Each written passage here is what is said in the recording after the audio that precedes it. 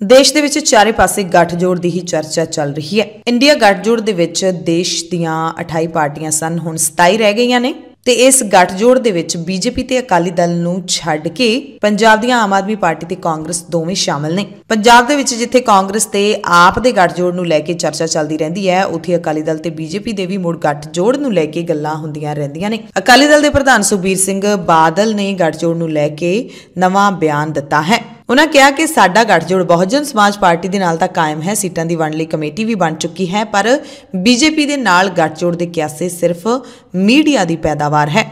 ਗੱਠਜੋੜ ਕਹਿੰਦੇ ਬੀਜੇਪੀ ਦੇ ਨਾਲ ਨਹੀਂ ਹੋ ਰਿਹਾ। ਇਹ ਸਿਰਫ ਤੇ ਸਿਰਫ ਮੀਡੀਆ ਦੇ ਵੱਲੋਂ ਫੈਲਾਈਆਂ ਹੋਈਆਂ ਗੱਲਾਂ ਨੇ, ਹੋਰ ਇਸ ਤੋਂ ਵੱਧ ਕੁਝ ਵੀ ਨਹੀਂ।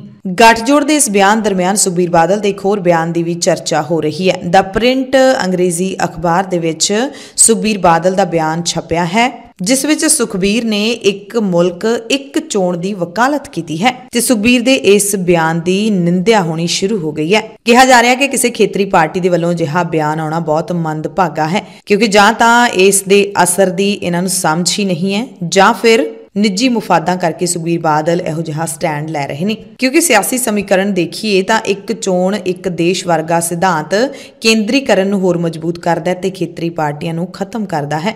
ਇਸ ਦਰਮਿਆਨ ਅਕਾਲੀ ਦਲ ਦੇ ਵੱਲੋਂ 1 ਫਰਵਰੀ ਤੋਂ ਜਿਹੜੀ ਪੰਜਾਬ ਬਚਾਓ ਯਾਤਰਾ ਸ਼ੁਰੂ ਕੀਤੀ ਜਾ ਰਹੀ ਹੈ, ਉਸ ਨੂੰ ਲੈ ਕੇ ਸਰਗਰਮੀਆਂ ਪਖਾਈਆਂ ਜਾ ਰਹੀਆਂ ਨੇ। ਅਟਾਰੀ ਸਰਹੱਦ ਤੋਂ 1 ਫਰਵਰੀ ਨੂੰ ਅਕਾਲੀ ਦਲ ਦੇ ਪ੍ਰਧਾਨ ਸੁਖਬੀਰ ਸਿੰਘ ਬਾਦਲ ਦੀ ਅਗਵਾਈ ਦੇ ਵਿੱਚ ਇਹ ਯਾਤਰਾ ਸ਼ੁਰੂ ਹੋਵੇਗੀ, ਜਿਹੜੀ ਪੰਜਾਬ ਦੇ ਹਰ ਹਲਕੇ ਦੇ ਵਿੱਚ ਜਾਵੇਗੀ।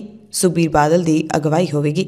ਉਧਰ ਆਮ ਆਦਮੀ ਪਾਰਟੀ ਦੇ ਦੋ ਵੱਡੇ ਲੀਡਰ ਪੰਜਾਬ ਤੇ ਦਿੱਲੀ ਦੇ ਮੁੱਖ ਮੰਤਰੀ ਭਗਵੰਤ ਮਾਨ ਤੇ ਅਰਵਿੰਦ ਕੇਜਰੀਵਾਲ ਕੱਲ ਹਰਿਆਣਾ ਦੇ ਵਿੱਚ ਪਹੁੰਚੇ ਹੋਏ ਸਨ, ਜਿੱਥੇ ਉਹਨਾਂ ਨੇ ਬਦਲਾਅ ਰੈਲੀ ਕੀਤੀ ਹੈ। ਇਸ ਦੌਰਾਨ ਕੇਜਰੀਵਾਲ ਨੇ ਦਾਅਵਾ ਕੀਤਾ ਕਿ ਆਮ ਆਦਮੀ ਪਾਰਟੀ ਹਰਿਆਣਾ ਦੀਆਂ ਸਾਰੀਆਂ 90 ਵਿਧਾਨ ਸਭਾ ਸੀਟਾਂ ਤੇ ਆਪਣੇ ਦਮ ਤੇ ਚੋਣਾਂ ਲੜੇਗੀ ਅਤੇ ਸੂਬੇ ਦੇ ਵਿੱਚ ਸਰਕਾਰ ਬਣਾਵੇਗੀ। ਅਰਵਿੰਦ ਕੇਜਰੀਵਾਲ ਨੇ ਸਾਫ਼ ਕੀਤਾ ਕਿ ਹਰਿਆਣਾ ਦੇ ਵਿੱਚੋਂ ਕੱਲੇ ਚੋਣ ਲੜਨਗੇ, ਕਾਂਗਰਸ ਦੇ ਨਾਲ ਗੱਠਜੋੜ ਨਹੀਂ ਹੋਏਗਾ, ਜਦਕਿ ਲੋਕ ਸਭਾ ਚੋਣ ਹੈ ਜਿਹੜੀ, ਉਹ ਇੰਡੀਆ ਗੱਠਜੋੜ ਨਾਲ ਰਲ ਕੇ ਲੜੀ ਜਾਊਗੀ। ਅਰਵਿੰਦ ਕੇਜਰੀਵਾਲ ਨੇ ਅੱਜ ਦੇ ਦੌਰ ਵਿੱਚ ਮਹਿੰਗਾਈ ਨੂੰ ਹੀ ਸਭ ਤੋਂ ਵੱਡਾ ਅੱਤਵਾਦ ਦੱਸਿਆ ਕੇਂਦਰ ਦੀ ਮੋਦੀ ਸਰਕਾਰ ਨੂੰ ਕਰਾਰੇ ਹੱਥੀ ਲੈਂਦਿਆਂ ਕੇਜਰੀਵਾਲ ਨੇ ਕਿਹਾ ਕਿ ਇਹ ਲੋਕ ਸਾਡੀ ਪਾਰਟੀ ਦੇ ਪਿੱਛੇ ਪਏ ਹੋਏ ਨੇ ਅੱਜ ਕਹਿੰਦੇ ਸਾਡੇ ਸਭ ਤੋਂ ਵੱਧ ਆਗੂ ਜੇਲ੍ਹਾਂ ਦੇ ਵਿੱਚ ਬੰਦ ਕੀਤੇ ਹੋਏ ਨੇ ਮੈਨੂੰ ਵੀ ਕਹਿੰਦੇ ਜੇਲ੍ਹ ਭੇਜਣਾ ਚਾਹੁੰਦੇ ਨੇ ਪਰ ਮੈਂ ਜੇਲ੍ਹ ਜਾਣ ਤੋਂ ਡਰਦਾ ਨਹੀਂ ਕਿਉਂਕਿ ਮੈਂ ਹਰਿਆਣਾ ਦਾ ਵਾਸੀ ਹਾਂ पहले ये लोग कहा करते थे ये जीरो बिजली का बिल कर देंगे तो बिजली नहीं आएगी भाई साहब पहले सात सात आठ आठ घंटे के पावर कट लगते थे दिल्ली में भी पंजाब में भी आज दिल्ली में भी 24 घंटे बिजली आती है, पंजाब में भी 24 घंटे बिजली आती है।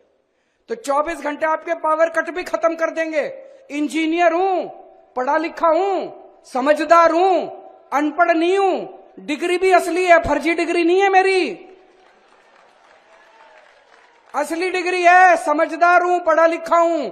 मेरे को करना आता है, बिजली भी 24 घंटे कर दूँगा, ट्रांसफार्मर ठीक कर दूँगा, लाइनें ठीक कर दूँगा 24 घंटे बिजली कर दूँगा, और ज़ीरो बिजली का बिल कर दूँगा आप लोगों का। पढ़े लिखे को वोट देना इस बार। ਪੰਜਾਬ ਦੇ ਮੁੱਖ ਮੰਤਰੀ ਭਗਵੰਤ ਮਾਨ ਨੇ ਦਿੱਲੀ ਅਤੇ ਪੰਜਾਬ ਦੇ ਵਿੱਚ ਆਪਣੀਆਂ ਸਰਕਾਰਾਂ ਦੇ ਵੱਲੋਂ ਕਰਵਾਏ ਕੰਮਾਂ ਤੇ ਚਾਨਣਾ ਪਾਇਆ ਤੇ ਦਾਵਾ ਕੀਤਾ ਕਿ ਪੰਜਾਬ ਦੇ ਵਿੱਚ ਸਿਹਤ ਤੇ ਸਿੱਖਿਆ ਖੇਤਰ ਵਿੱਚ ਵਧੇਰੇ ਕੰਮ ਹੋਇਆ ਹੈ। 18 ਮਹੀਨਿਆਂ ਦੇ ਵਿੱਚ ਕਹਿੰਦੇ 40000 ਦੇ ਕਰੀਬ ਨੌਜਵਾਨਾਂ ਨੂੰ ਅਸੀਂ ਸਰਕਾਰੀ ਨੌਕਰੀਆਂ ਦੇ ਦਿੱਤੀਆਂ ਨੇ। ਲੋਕਾਂ ਨੂੰ ਮੁਫਤ ਬਿਜਲੀ ਦਿੱਤੀ ਜਾ ਰਹੀ ਹੈ ਤੇ ਭ੍ਰਿਸ਼ਟਾਚਾਰ ਨੂੰ ਜੜੋਂ ਖਤਮ ਕਰ ਦਿੱਤਾ ਗਿਆ ਹੈ। ਕਹਿੰਦੇ ਜਿਵੇਂ ਪੰਜਾਬ 'ਚੋਂ ਭ੍ਰਿਸ਼ਟਾਚਾਰ ਖਤਮ ਕੀਤਾ ਗਿਆ, ਉਸੇ ਤਰ੍ਹਾਂ ਹਰਿਆਣਾ 'ਚੋਂ ਵੀ ਖਤਮ ਕਰਾਂਗੇ। ਕਿ ਬਿਜਲੀ ਦਾ ਬਿੱਲ ਨਹੀਂ ਆਏਗਾ। ਇੱਕ ਵਾਰ ਮੌਕਾ ਦੇ ਦਿਓ। बिजली का बिल ज़ीरो आएगा।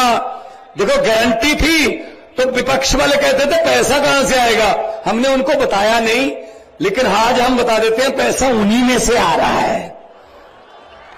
क्योंकि उन्होंने बहुत लूटा हुआ है, बहुत कमाया हुआ है। हमने वो लीकेज बंद कर दी, पैसा खजाने में आ रहा है। नब्बे परसेंट पंजाबियों को बिजली का बिल ज़ीरो आ रहा है। ये आपके सामने एक लाख बिल पड़े हैं। ये देख लो। ऐसा कोई ला सकता है? ऐसे कोई सरकार दिखा सकती है बिल? और ये बिल पंजाब के नहीं है। ये खनौरी, शतराना और समाना, जो आपके बिल्कुल साथ में बगल में पंजाब है, उसी के बिल है। एक लाख है सिर्फ़। ਪੰਜਾਬ ਸਰਕਾਰ ਹੁਣ ਕਣਕ ਜਾਂ ਆਟੇ ਦੀ ਹੋਮ ਡਿਲੀਵਰੀ ਬਸੰਤ ਪੰਚਮੀ ਤੋਂ ਸ਼ੁਰੂ ਕਰਨ ਦੀ ਵਿਉਂਤ ਬਣਾ ਰਹੀ ਹੈ। ਮੁੱਢਲੇ ਪੜਾਅ ਤੇ ਹੋਮ ਡਿਲੀਵਰੀ ਨੂੰ ਸੀਮਿਤ ਰੱਖਿਆ ਜਾਊਗਾ।